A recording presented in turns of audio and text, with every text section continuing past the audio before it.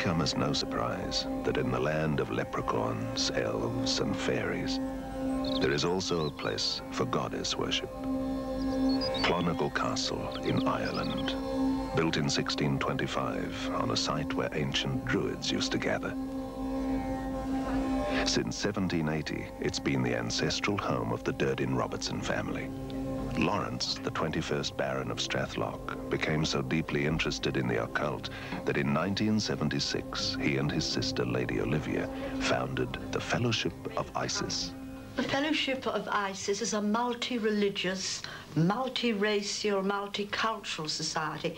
That's why we have Catholic priests, nuns, Hindus, witches, spiritualists walking around on a Sunday and drinking well water in our temple and lighting candles because we've no a specific dogma that divides people. We find one point in common with all religions, the feminine, which we feel needs emphasizing now, really to save our planet from world destruction with our arms race and pollution.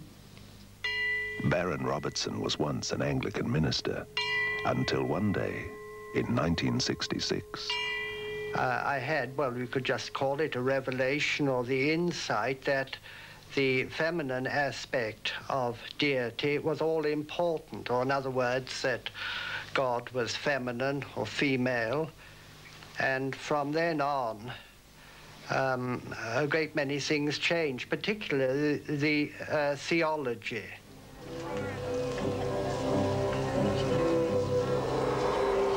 The Fellowship of Isis dedicates itself to worshipping the goddess in all religions, wherever she is found. There are now over 5,000 members in 53 countries. Some of them travel to Clonegal Castle for ordination. We hope to achieve harmony among all peoples and all animals, trees and plants without these terrible divisions, doctrinal and political or anyway, but to achieve harmony with spirits. Isn't it silly that you're loved by your family on a Monday when you're so-called alive? When you enter spirit world on Wednesday and pop in to see people, they scream and call you a ghost.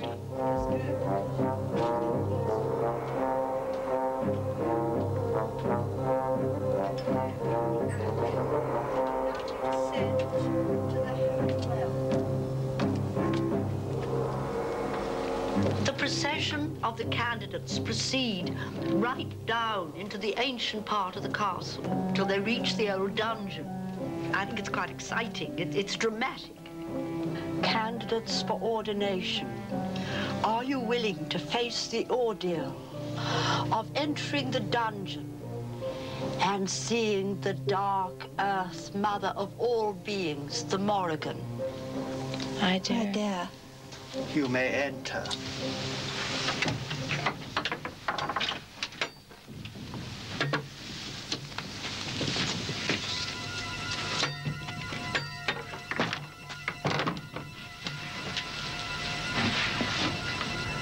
I am Morrigan, mother of the dark earth and all the creatures therein. Do you fear me? No, I accept thee with love. No, I honor thee with wisdom.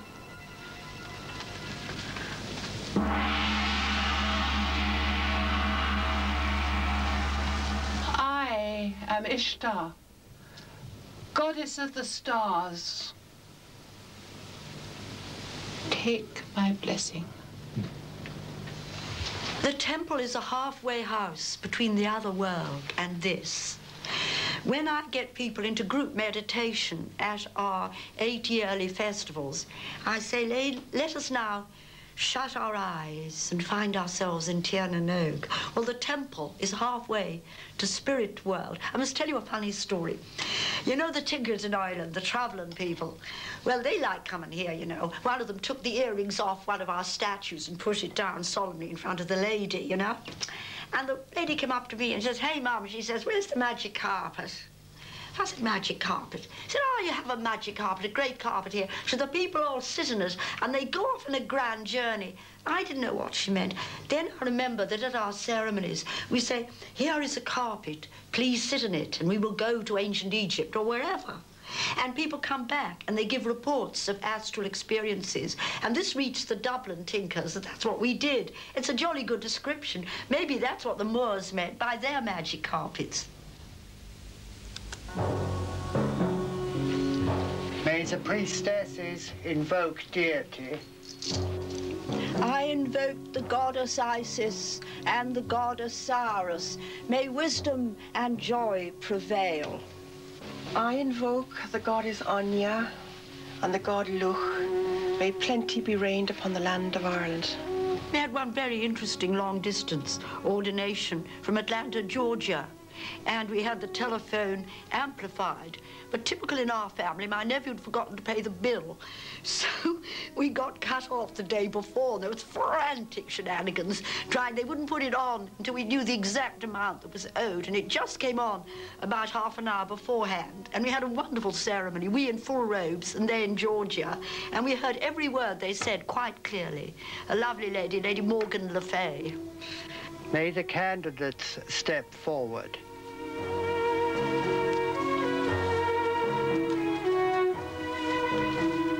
Do you wish to be ordained as priestesses of the goddess? I do. I do. Which goddess do you choose to follow?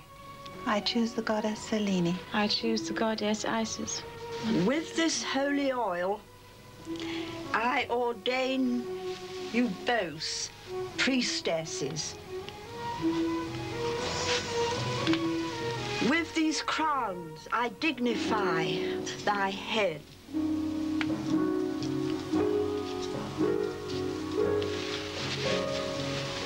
The head center gives the halo. With this stole, the silver of the moon goddess Selene, whom you follow, I hallow thy heart. And this pure white of Isis brings you joy.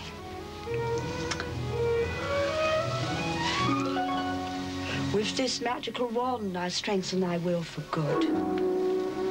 With this fine staff, I strengthen thy magical powers.